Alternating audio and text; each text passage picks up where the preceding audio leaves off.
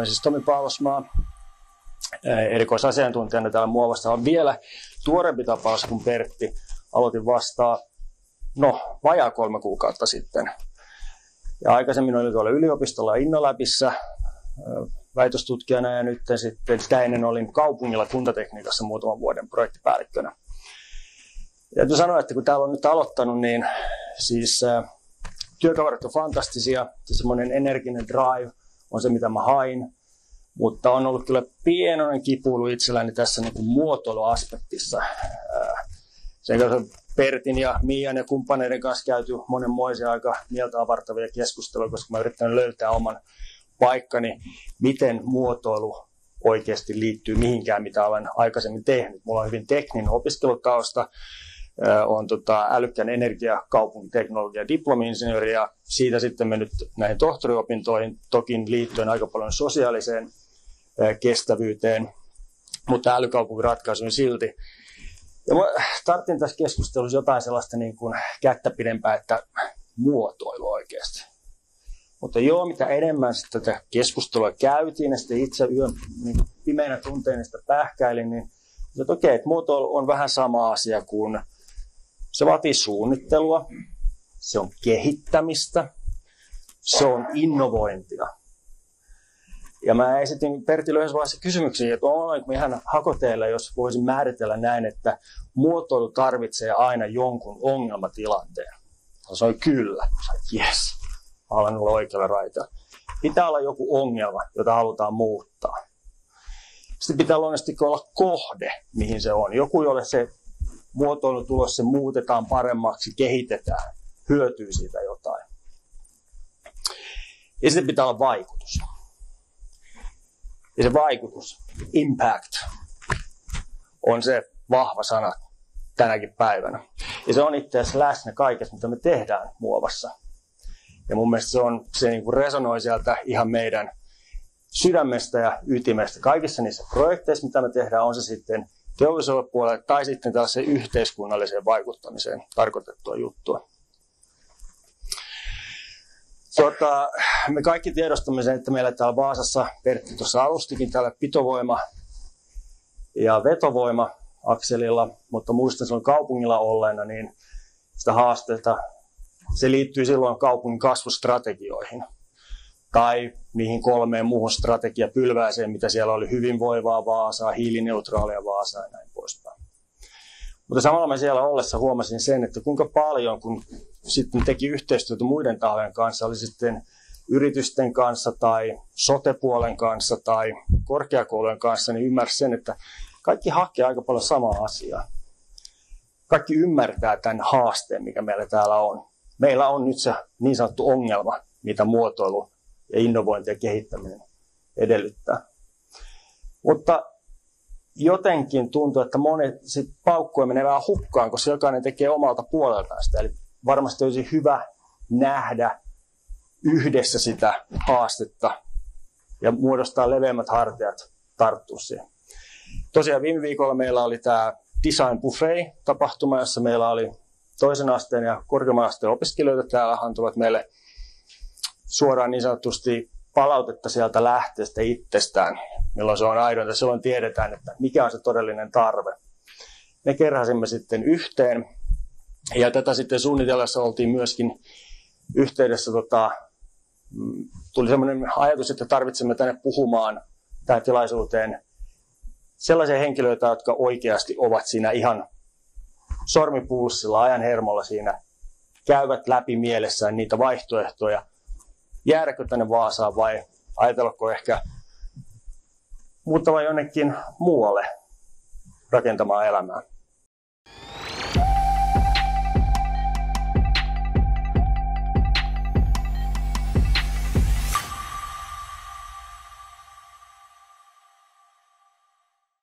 Tosiaan, kun me alustavasti tästä keskusteltiin tuossa pari viikkoa sitten, niin vähän innovoitiin tätä ajatusta, että miten lähdetään viemään tätä keskustelua. Ja ja teiltä tuli sitten niitä selkeitä ajatuksia siitä, että mitkä on ne tärkeimmät, niin semmoiset kulmakivet tähän, tähän meidän tota, lähtöön. Ja teitä nyt yhdistää ainakin se, että te olette kaikki opiskelijat täällä Vaasassa, te olette hyvin pitkällä opinnoissanne ja olette varmastikin uskoisin siinä tilassa, että myöskin mietitte sitä jatkoa, mihin haluatte mennä.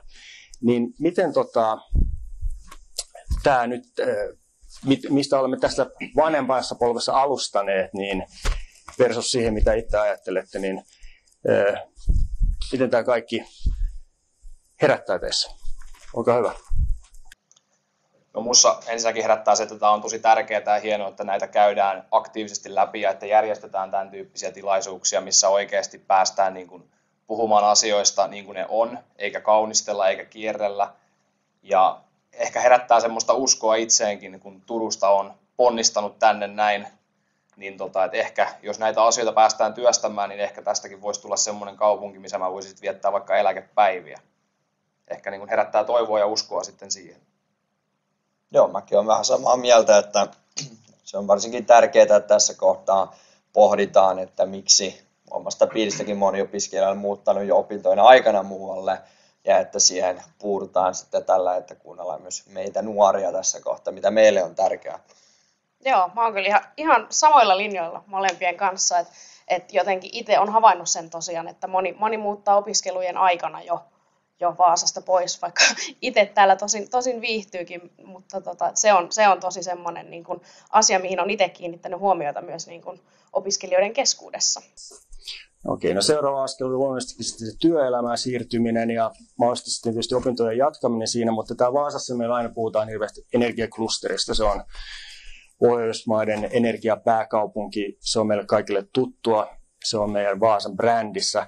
Mutta kaikki ei ole vain energiaklusteri, kaikki ei ole vain energiayrityksiä. Työllisyyttä pitää katsoa teidän sukupolvelle myös laajemmalla mittakaavalla. Miten itse näette oman työllistymistilanteen ja tulevaisuuden haaveet sillä tavalla sitten täällä jatkossa? No tuohon itse liiketalouden opiskelijana ja täällä, täällä tota, varmasti mulle tällä alalla löytyy paljon työtä.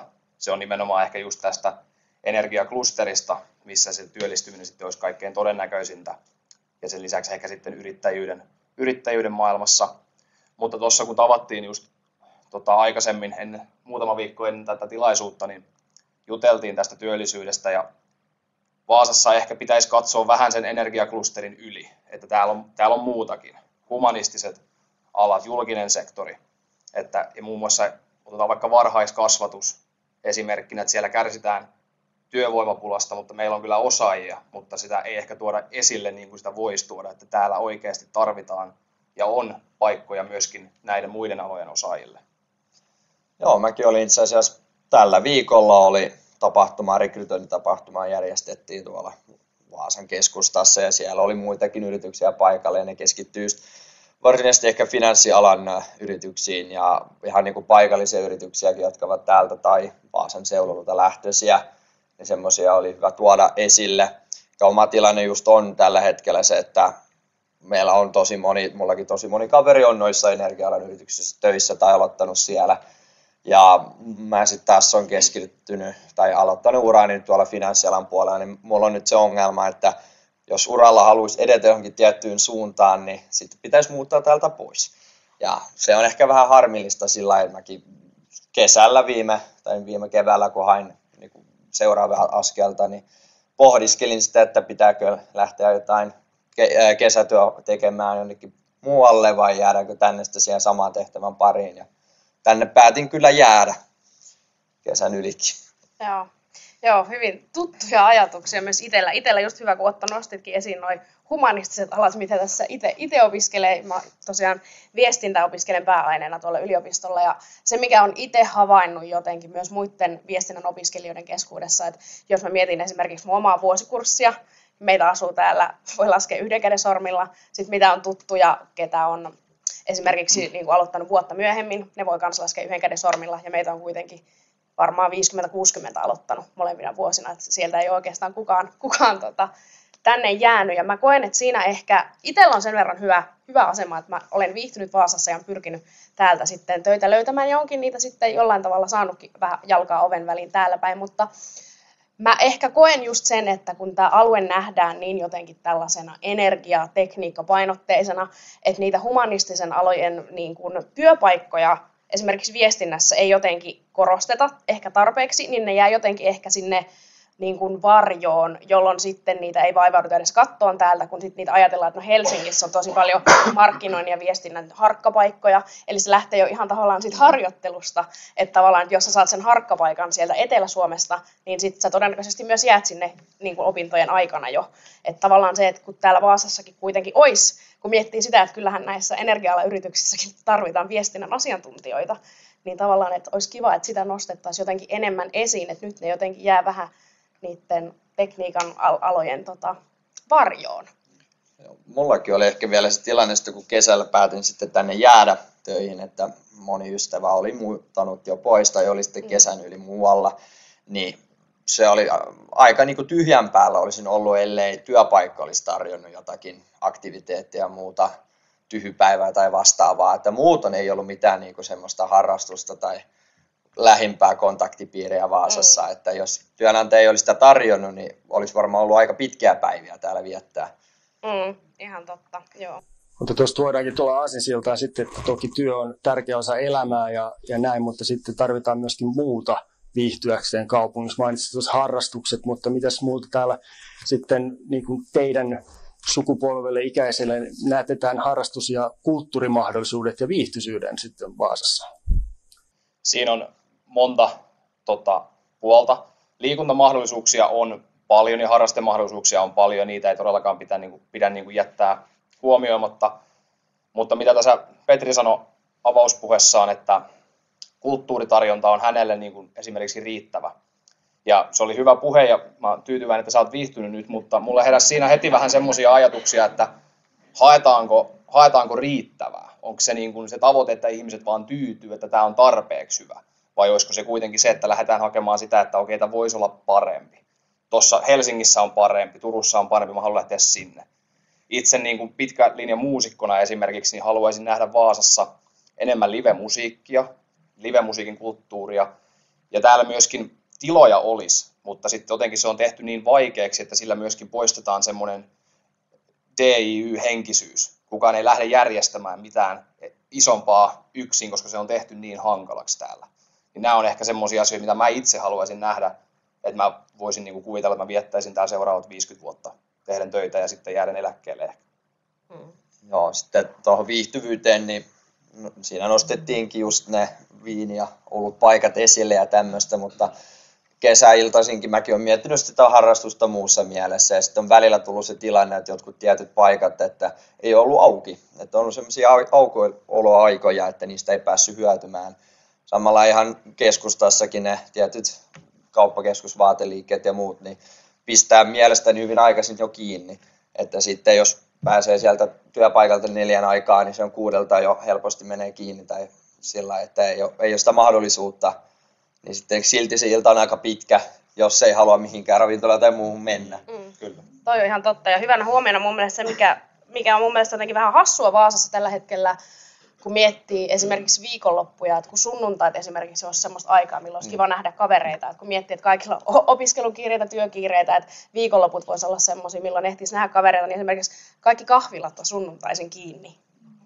Joo. mikä on vähän niin kuin, vähän silleen, että no mihin me sitten mennään. Niin. Että se on vähän ikävä, mutta palaten tuohon kulttuuriin, niin mä olen ihan samalla linjalla Oton kanssa sen suhteen, että jos mä ajattelen niin kuin meidän sukupolvea, niin hyvä, hyvä on taas itselleni se, että olen tällaisen korkeakulttuurin ystävä, että meillä on tosi, tosi hyvät teatterit täällä ja kaupungin orkesterit ja näin, mutta sitten mä koen, kun ajattelee suuremmassa mittakaavassa just meidän sukupolvea, että, että meiltä puuttuu täältä tavallaan ehkä, ehkä jollain tavalla just se semmoinen paikka, missä voisi kuulla just tällaista live, live-musiikkia, nimenomaan sen kokoisia artisteja tai bändejä, jotka vaatisivat sen semmoisen Seinäjoen rytmikorjaamon kokoisen tilan, mikä meiltä täältä puuttuu, koska sitten taas miettii, että okei, että rytmikorjaamolla keikkailee tosi paljon niin kuin Suomen ykkösartisteja, mutta sitten se on ehkä niin kuin, että on vähän vaikea lähteä niin kuin täältä sit sinne, että sitten sun pitäisi katsoa, että on, meneekö sinne junia just siihen aikaan, no ei vitsi, mulla ei ole autoa, miten sinne pääsee, että tavallaan että se täältä niin kuin jotenkin puuttuu,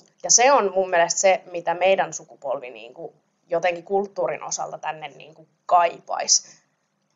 Jotain, mitä mä oon just tykännyt, on varsinkin nyt kesällä ehkä, että torilla on aktiviteetteja. Mm. Että siellähän on joskus just näitä keikkoja tai muuta, että se on ollut kiva nähdä, että se, sitä tilaa käytetään, kotikaupungissa Porissa sitä toria ei kauheasti käytetä mihinkään. Et siellä on sitten Suomi-areena kesällä ja se oli mm. sitten siinä. Täällä on kuitenkin markkinoita ja kaikkea muutakin, että vaikka ei ehkä itse siellä aktiivisesti kävisi, niin että on jotakin vaihtoehtoa, mihin voi mennä.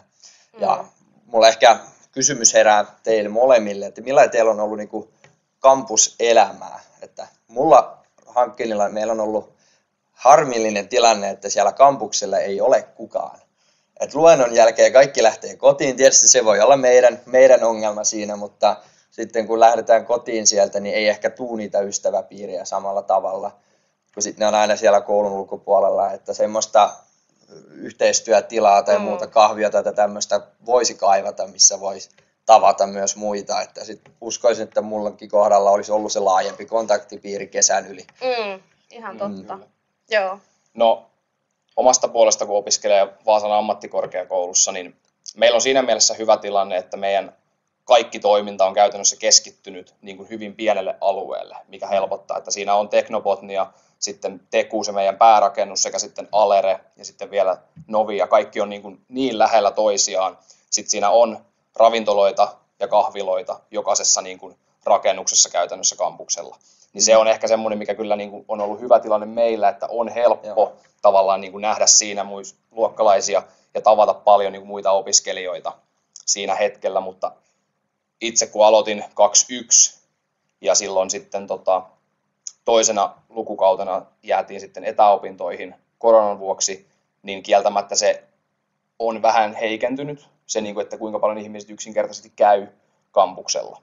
Mä en sano, että se on kokonaan huono asia, koska se myöskin ehkä vähän monimuotoistaa sitä, miten ihmiset voi suorittaa niin kuin opintoja vähän omaan tahtiin ja mm. vähän semmoista omaa polkua pitkin. Mutta ehkä se vähän heikentää kyllä sitä niin kuin kampuselämää ja sitä niin kuin interaktiivisuutta siellä itse paikan päällä. Mm. Tässä tuota mainitsit tosiaan kulttuurin ja kaikki nämä erilaiset tapahtumat sitä ruokkimaan, mutta kieli on myöskin tärkeä osa kulttuuria. Mm. Vaasa on kaksikielinen kaupunki, se luo meille sitä omaa persoonaa, mutta me olemme myöskin kansainvälinen kaupunki.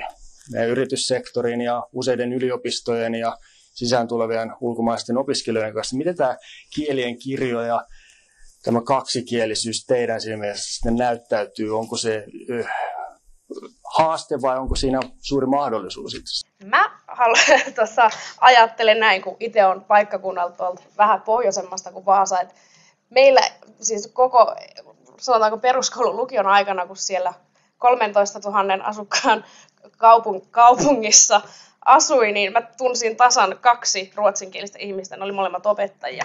Et meillä ei ruotsia, ruotsia puhuttu koskaan, niin jotenkin, mä oon itse ollut aina jotenkin tosi avoin sitä niin kuin kieltä kohtaan, että mä muistan joskus, joskus yläasteikäisenä, kun muut lähti kielimatkoille tonne Jenkkeihin ja Britteihin, niin mä lähdin Ruotsiin.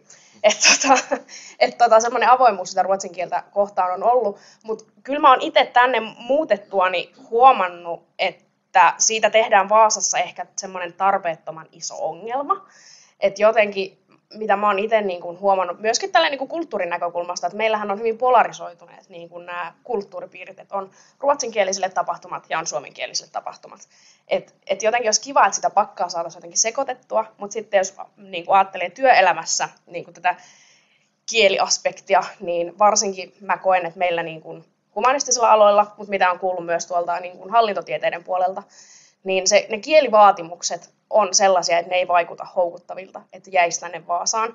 Ja sitten se, mikä mä oon itse jotenkin huomannut, mikä itsellä jotenkin ehkä herättää niin hilpeyttä, mä en ota sitä loukkauksena, mutta se jotenkin huvittaa mua, että mä koen, että meillä on ihan erilaiset kielivaatimukset niille, jotka on suomenkielisiä ja niille, jotka on ruotsinkielisiä. Että tavallaan se, että jos sä oot ruotsinkielinen, niin on se, että no ei sun tarvitse suomea osata, mutta sitten kun oletkin suomenkielinen, niin sulta vaaditaan tosi hyvää ruotsinkielen osaamista. Ja just se, että tämä on ehkä tosi tämmöistä polarisoitunutta, niin mun yksi kaveri, joka on Vaasasta kotoisin asunut täällä koko elämänsä, niin jotenkin sanoi mun mielestä hirveän hyvin, että Vaasassa se on tehty niin vaikeaksi, että sä et vahingossakaan pääse täällä oppimaan ruotsia. Et kun miettii myös opiskelijoita, niin meillähän on, meillä on korkeakoulut on ruotsinkielisille ja suomenkielisille. Ja mun mielestä, mun kokemus on se, että meillä on tosi vähän yhteistyötä. Että tavallaan se semmoinen kielen oppiminen myöskin siinä vaiheessa, kun sä haet töihin, niin sulta vaaditaan jo tosi paljon sitä kieliosaamista mutta ethän sä ole päässyt missään vaiheessa edes oppimaan sitä kieltä. Niin mä jotenkin koen, että tässä on jotenkin semmoinen ongelma. Joo, mä kyllä on vähän samaa mieltä, että meillä on, mä nyt ehkä edustan sitä enemmän sitä ruotsinkielistä. en pahoittele. niin, mutta, mutta mä koen meidän piirissä sitä vastaavaa ongelmaa, että niille, jotka ovat täältä päin, kenellä on sitten se ehkä heikompi suomen kieli, niin se tuntuu heille paljon isommalta kynnykseltä lähteä esimerkiksi tapahtumiin, missä on suomenkielisiä. Mm. Että mä oon jotenkin itse asiassa ollut, en ole ymmärtänyt sitä ongelmaa, kun puhun molempia kieliä sujuvasti, mutta mä oon kyllä huomannut sen, että mulla on ollut paljon ystäväpiiriä enemmän vaan sen yliopiston puolella, mitä mun ystävillä sitten muuten hankkinilla, että yleensä se jää siihen pinnalliseen, että ei, ei ne oikeasti yhdisty sitten mm. kauheasti, että ja, ja tota, huomasin myös silloin tällä viikon rekrytointitapahtumassa, että se oli avoin kaikille Vaasan seuraopiskelijoille, mutta suurin osa niistä yritysesittelyistä oli suomeksi, niin sitten mun ruotsinkieliset ystävät ei välttämättä ihan ymmärtänyt, mistä on kysymys tässä, niin sitten jotkut, jotkut yritykset esitti vain ruotsiksi, että vähän tuli tasapainoa, mutta se silti niin kuin jaotteli sitä mm. yleisöä siinä. Mm. Et ehkä siinä on jotenkin, en tiedä, oletko samaa mieltä tälleen, kun niin. edustat tätä toista kielikuntaa. Et jotenkin se, et toivoisin, että se vähän niin kuin rentoutuisi se semmoinen, että et jotenkin mun oma toivomus olisi se, että et kaik, et meillä olisi enemmän yhteistyötä ja tavallaan sitä semmoista, että pääsis keskustelemaan sille, että kaikki saisi käyttää omaa kieltä, niin siinä vähän niin kuin oppisi ehkä niin kuin Juu, vahingossa. Ja, ja se asennekysymys niin. siinä on helposti, mm. että on, tuntuu siltä, että jommalla kummalla semmoinen tietty asenne, no minä en ainakaan. Mm. Sitten, pitäisi ja, päästä niin, siitä irti. Niin, vaikka sitten toisaalta meilläkin nyt kauppatieteelliset opinnot on ollut niin kuin englanniksi, mm. että ihan kuka vaan siellä olisi voinut pärjätä, että ei meillä Ruotsi ollut mitenkään semmoinen, ehkä siinä on, siis pääsykokeessa on ollut vaatimus, mutta sitten sen jälkeen, niin peruskurssien jälkeen kaikki on ollut englanniksi, että silläkin pärjäisi. Mm. Kyllä. No mulla tästä herää tosi paljon ajatuksia, mutta on kyllä niin kuin lähtökohtaisesti samaa mieltä molempien kanssa. Se on ehkä vähän niin kuin, niin kuin hajallaan tietyllä tavalla, mutta ehkä tämä mun pääpointi mä nyt, mitä ei ole vielä sanottu, niin kohdistaisin niin kuin Vaasan kaupungille nimenomaan. On se, että esimerkiksi Vaasan kaupungissa puhutaan veto- ja pitovoimasta, niin kuin Vaasan kaupungin strategiassa, puhutaan maan sisäisestä muuttoliikkeestä, että saataisiin tänne tuotua Vaasaan niin kuin muualtakin ympäri Suomea osaajia. Mutta jos mä ajattelen sitä omaa hetkeä, kun mä sain sähköpostin, mutta hyväksytty tänne, niin mun ensimmäinen ajatus oli se, että en mä halua mennä sinne, kun siellä puhutaan vaan ruotsia. Se on, tiedätkö, se on tullut vähän jotenkin, vaikka henkilö, joka ei ole ikinä ollut Vaasassa, niin Vaasa on brändäytynyt niin sellaiseksi vahvasti kaksikieliseksi paikaksi ja semmoiksi paikaksi, missä kielivaatimukset on niin korkeat niille molemmille kielille, että se pelottaa. Ei ihmiset uskalla hakeutua tänne välttämättä työn tai koulutuksen perässä ihan vaan niin kuin tämän tämän tota kielivaatimuksien takia. Ja myöskin se sitten vaikeuttaa nimenomaan just näissä harjoitteluissa, mistä puhuttiin, ja myöskin työllistymisessä siihen kaupunkiin kiinnittymiseen. Jos sinnittelee koulut läpi, aina lähtee pois täältä suorittamaan PK-seudulle tai Turkuun harjoittelua, koska siellä ei tarvitse ruotsia, niin eihän se tänne tule takaisin töihin. Eihän se kiinnity tähän kaupunkiin. Opinnot vedetään läpi ja mm. lähdetään pois. Näinhän se vaan on. No, mä oon sen nähnyt myös ihan harrastustoiminnassakin täällä, että jotain urheiluseuroja, niin ne on niin vahvasti sitten ruotsinkielisiä täällä, että tietysti kun on paikallisia mm. ja ollaan nuoresta asti ollut siinä seurassa mukana, niin sitten on nähnyt, että on niitä seuroja sitten, missä puhutaan sitten vaan ruotsia, niin sitten on tuntunut siltä, että ystävät, jotka olisi halunnut liittyä samaan urheiluseuraan, niin on ollut korkeampi kynnys, mm. kun he kokee, että he ei kuulu siihen porukkaan mukaan aletaan tulee nyt loppuun tätä meidän puheenvuoroa ja nyt sitten nopeasti pitäisi kiteyttää se niin kuin tämän päivän teeman ytimessä oleva yhteistyö, mistä mainitsit Roni monta kertaa. Ja allekirjoitan sen itsekin, e, ei pelkästään eri yliopistojen välillä, vaan myöskin sitten se yhteistyö, mitä kaikki varmasti tavallaan hakee, että on se sitten tämän työmarkkinoiden, yritysten yhteistyö korkeakoulujen ja sen välillä tai kaupungin yhteistyöorganisaationa sitten näiden välillä muuta. Miten siinä myöskin kuuluu silloin, jos teidän sukupolvelle, teidän tarpeisiin suunnitellaan tätä, niin äh, puhutaan tästä yhdessä kehittämisestä, co-creation. Koetteko te nyt ytimekkäästi vastaatte tähän näin, että tota, mitä olette mieltä, mitkä olisi ne, mihin tarttua, saadaanko tätä yhteistyötä eteenpäin, myöskin se, että teidän ääni tulisi, toiveet tulisi paremmin esille jo siinä suunnitteluvaiheessa, kun asioita suunnitellaan tähän kaupunkiin ja katsotaan niin kuin sitä strategioita eteenpäin. No itse ainakin koen, että jos ajatellaan just tätä pitovoimaa Vaasassa, että tänne jää helposti semmoisia opiskelijoita tai nuoria, jotka ovat syntyneet täällä tai kenellä just on se kielitaito sitten semmoinen, että he ei uskalla lähteä sitten täältä pois. Tai sitten varsinkin meilläkin, että jos puhuu opiskelijoiden kanssa, jotka ovat täältä päin tai puhuu sitä äidinkielen vaan ruotsia, niin he ei sitten välttämättä uskalla muuttaa sisämaahan, vaan he lähtevät saman tien ulkomaille jos, tai niin kuin Ruotsiin, jos he ei jäävät tänne. Hmm. Mä ehkä jotenkin, kun miettii sitä, että opiskelijat esimerkiksi tulee Vaasaan nimenomaan niiden korkeakoulujen takia, mutta ne syyt, minkä takia ne jää Vaasaan, on ihan jotain muuta kuin ne korkeakoulut. Niin mä jotenkin toivoisin ehkä myös sitä, että tavallaan kun ne mielikuvat kaupungista syntyy sen opiskelun aikana. Että et tavallaan, että niitä lähdetään rakentamaan jo tavallaan siitä ensi hetkestä, kun sä tulet ja muutat siihen kaupungin sen opiskelun takia. Että et jotenkin sellaista eri toimijoiden aktiivista niin kuin yhteistyötä, ehkä myös niin kuin korkeakoulujen kanssa, että sitä mielikuvaa lähdettäisiin rakentamaan sieltä heti niin kuin niistä opiskelun ensihetkistä lähtien. Että et jotenkin ehkä myös, niin kuin, että et voisiko niin kuin korkeakoulut ja eri toimijat tehdä aktiivisemmin yhteistyötä, ihan jotain siis pieniäkin juttuja, että tullaan esimerkiksi jollekin kursseille kertomaan vaikka jostain omasta toiminnasta. Että tavallaan semmoisia niin pieniäkin juttuja, mutta millä on iso merkitys.